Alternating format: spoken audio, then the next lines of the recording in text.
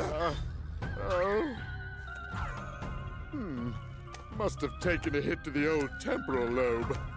But a fallen foe can only mean one thing. It came to blows, and I won!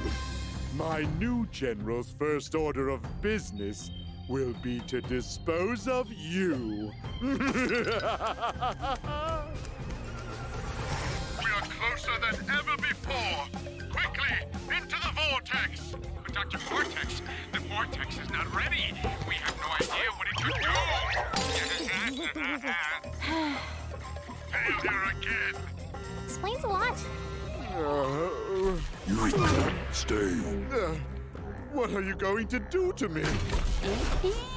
looks like somebody needs a little time out. Somewhere he can't cause any trouble. Enjoy the end of the universe!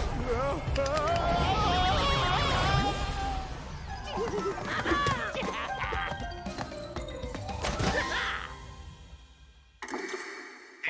Diner is back and ready for you.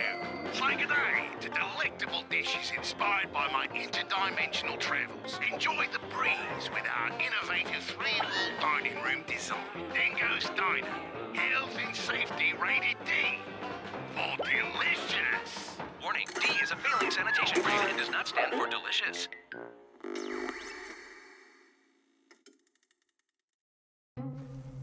Hmm.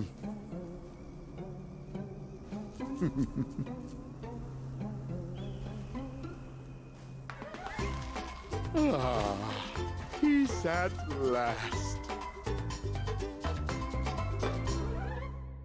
Oh, almost there, almost there, good thing. Yes! All right. victory!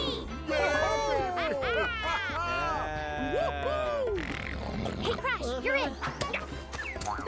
Five, four, three, two, one.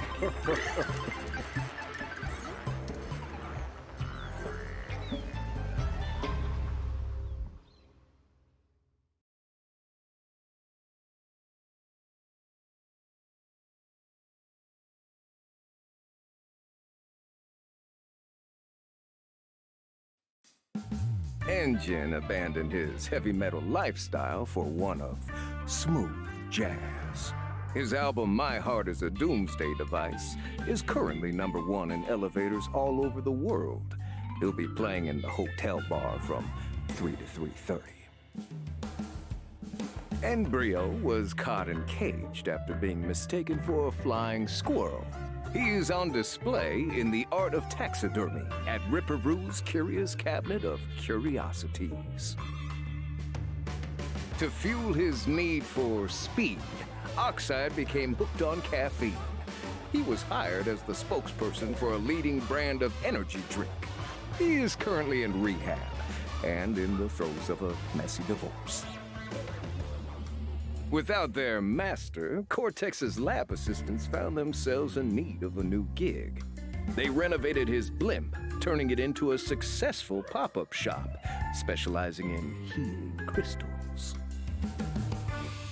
Dingodile franchised his restaurant operation, with Dingo's Diner rising to become the first name in chain fast casual dining. They closed overnight with officials citing record health code violations. The original location remains open during its condemnation. After successful expeditions to El Dorado, Shangri-La, Atlantis, and a brief fling with some dweeb named Smathan Trake, Tawna is taking a brief hiatus from her adventures to recenter. She's recently taken up scrapbooking, She's not very good yet, but she's getting there. After trying and failing to invent the world's first self-flying flying car, Coco found a new career as an esports champion. Don't forget to follow Kick-Ass Coco and smash that adore button. The Dimensions have heard nothing more of the Doctor's trophy since Crash foiled their plans. But Evil geniuses are harder to squash than cockroaches. And as for me, well, let's just say I'm doing just fine.